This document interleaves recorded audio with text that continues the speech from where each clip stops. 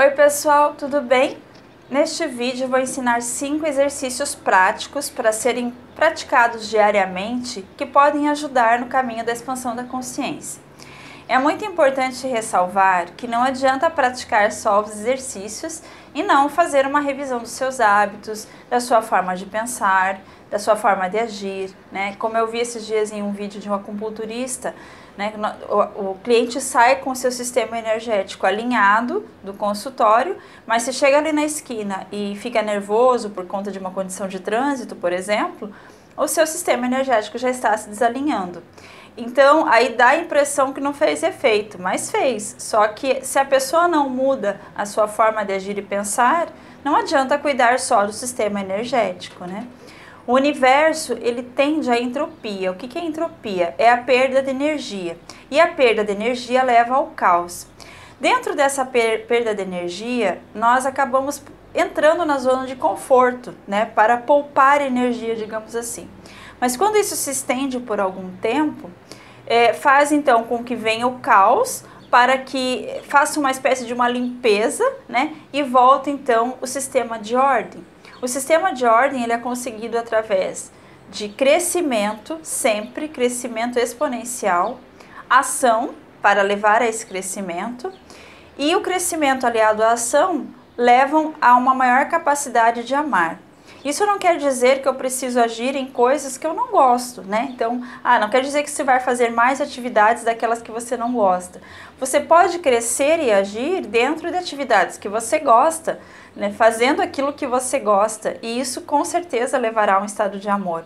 Se você é, simplesmente crescer e agir dentro daquilo que você não gosta e resiste a isso, isso não é crescimento, você está resistindo então ao fluxo da vida. O fluxo da vida é crescimento, ação e amor sempre. Agora, se eu estou fazendo por fazer porque eu tenho que fazer mais, isso não está gerando amor, não está gerando um crescimento saudável, digamos assim.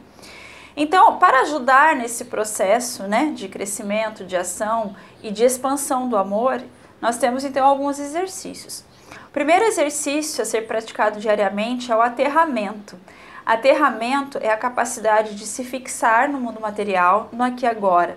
Eu fiz uma sequência de yoga de aterramento, eu vou deixar aqui nos cards para quem quiser praticar.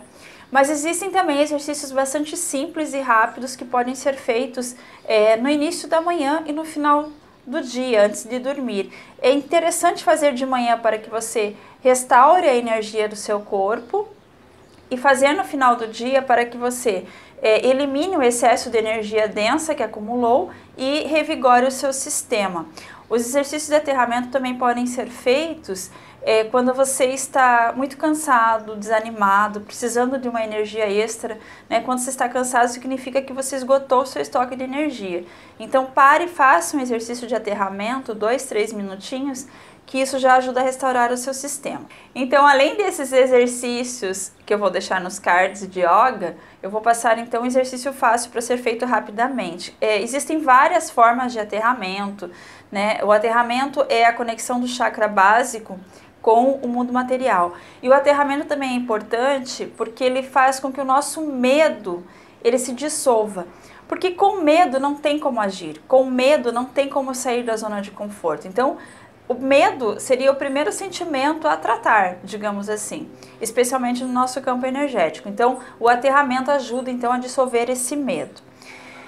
Então, existem várias formas de fazer aterramento, mas uma que eu considero muito fácil e prática é, de fazer, pode ser feito em qualquer lugar, é se colocar em pé, com as pernas afastadas na largura do ombro, sentir o seu pé bem fixado no chão, se possível fazer descalço, senão não tem problema faz o sapato, sentir então esse pé bem fixo no chão, sentir que através do seu pé esquerdo você está recebendo energia do centro da terra.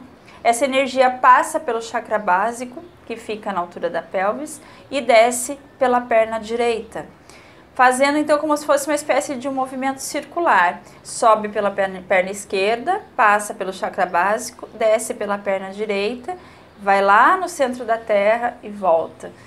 É, imaginar esse circuito de energia por cerca de dois minutos já vai fazer uma grande diferença em termos de aterramento. Segundo exercício, eh, também já foi deixado aqui um vídeo explicando um exercício para equilibrar a energia da ação com a energia do coração. Eh, hoje em dia, vencido então o medo, nós temos muita tendência de agir e nos distanciar da capacidade de amar.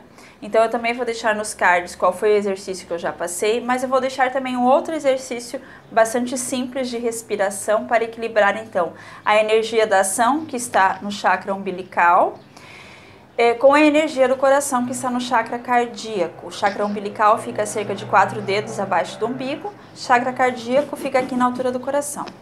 Então, como é o exercício? Você inspira pelo nariz, só que nessa inspiração você vai levar o ar até uh, o abdômen, que seria a altura do umbigo, e vai inspirando e trazendo esse ar para o coração. Então, em vez de fazer o caminho, digamos assim, o caminho vai até lá embaixo e vai subindo na inspiração. Parece que não dá, mas dá. Tentem experimentem que dá. Então, o, o ar, quando expirar, vai até a barriga, sobe até a altura do coração e segura um tempinho, quanto você conseguir de forma confortável. E depois você expira esse ar é, normalmente. Repete esse ciclo também de 2 a 3 minutos de manhã à noite isso também ajudará bastante a expandir a sua capacidade de amar. E quem puder fazer o outro exercício que eu passei, também é um exercício bastante eficiente. O terceiro exercício também é, que ajuda a trazer a sensação de unidade é algo muito contraditório, assim, porque eu tenho estudado muito, né, sobre quais são esses caminhos para o equilíbrio.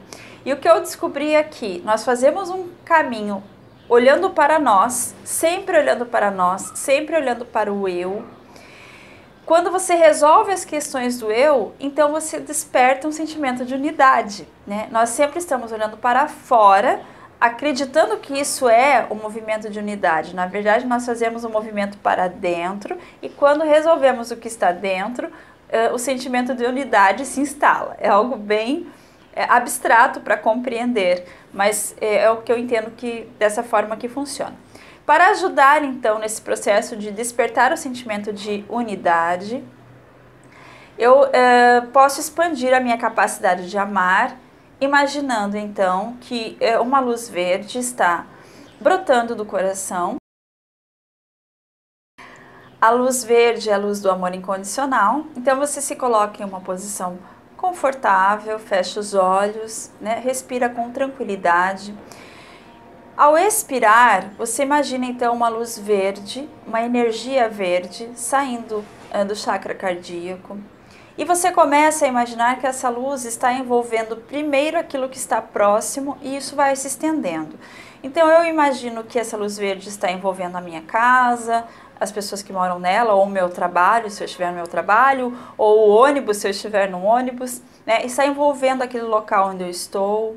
Isso se estende depois para uh, a minha cidade, depois eu estendo isso para o país, e depois eu estendo isso para o meu planeta, e depois eu estendo isso para o universo, até que tudo fique tomado, então, por essa luz verde que brota do meu coração.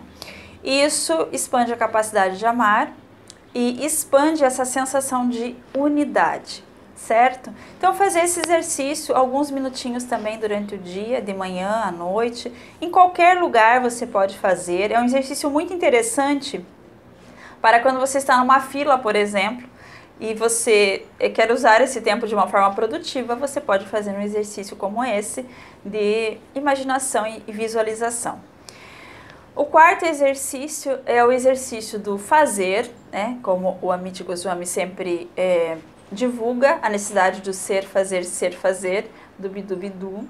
Dentro do fazer, então, eu, eu posso fazer uma meditação com foco. O que, que é uma meditação com foco? Eu vou imaginar alguma coisa enquanto eu estiver é, em estado de relaxamento.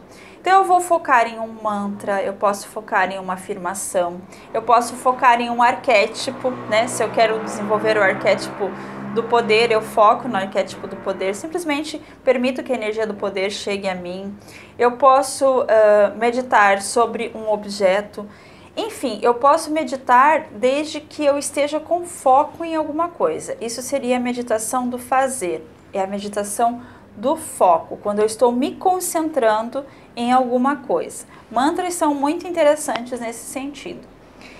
E o quinto exercício que pode ajudar na expansão da consciência é a meditação do relaxamento, que é a meditação sem um foco. É o contrário da outra. Na outra, eu coloco um foco, eu coloco uma intenção e isso é, faz com que eu, eu entre no estado de fazer.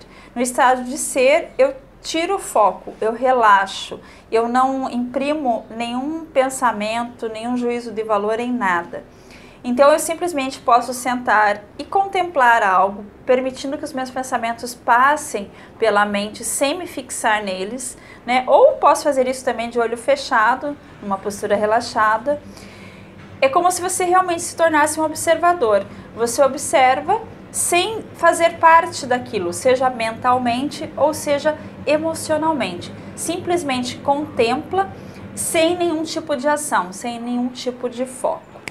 Então, para finalizar esse vídeo, revisando os nossos exercícios diários para expansão da consciência, primeiro, aterramento, que faz com que nós tenhamos a capacidade de agir sem medo, né? tenhamos essa capacidade de ir em frente.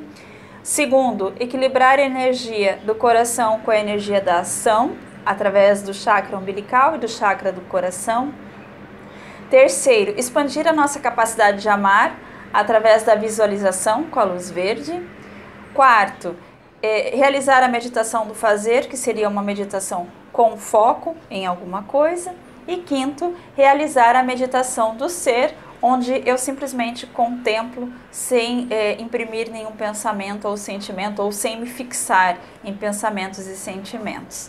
Então essa rotina diária pode ajudar bastante aí no caminho da expansão, aliando então a uma revisão dos seus hábitos, a uma revisão daquilo que você precisa trabalhar e transcender em você, as suas limitações, e também é, em relação à ação aquelas ações que você precisa realizar no mundo e sempre é que levem a um, a um caminho de expansão, crescimento e amor.